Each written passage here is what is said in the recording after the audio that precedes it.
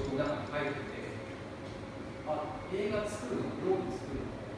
料理でワクワクさせるするんだったら一緒だなと思ってあじゃあいいでやってみるのかこっちの方がいいかなと思ってそれであのえ辛みがねちょっと違うんでね辛みもそうだけど中華とかだとさあの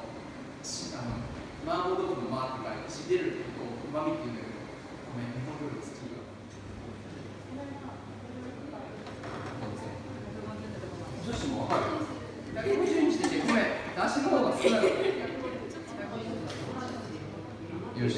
余ったら余ったでいいよ余ったら余ったでいいよ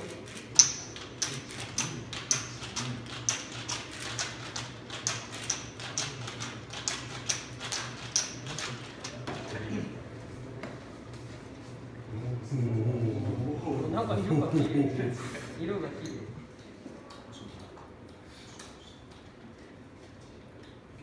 広報室っていうところで今働いてます。で、今まあスノーピークにちょう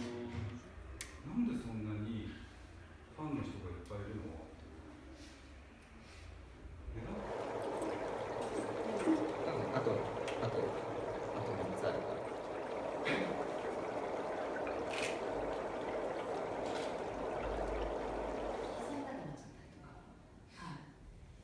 それで足首だったり膝痛めて病院に行ってる子とかもいっぱいいますから、まあ、特にあの走るならず足と一体化させるっていう、はい、お約束です。配置をしてください。ポチポチポチとつけていきます。でちょっと乾